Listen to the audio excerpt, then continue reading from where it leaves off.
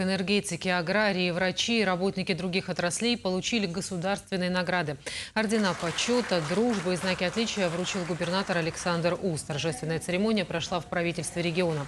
Среди награжденных в зале присутствовали сотрудники компании «Сисим», которые помогали спасать рабочих после прорыва дамбы в Курагинском районе. Они удостоились медалей за спасение погибавших.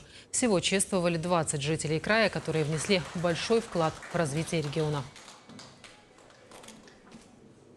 Красноярцы всегда были готовы и фактически проявляли выдающиеся личностные качества, добивались больших успехов во всех сферах, успехов, которые заслуживают самой высокой оценки.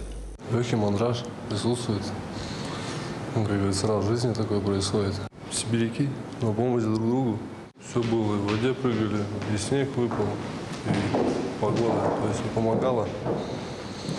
Ну, работали, делали свое дело.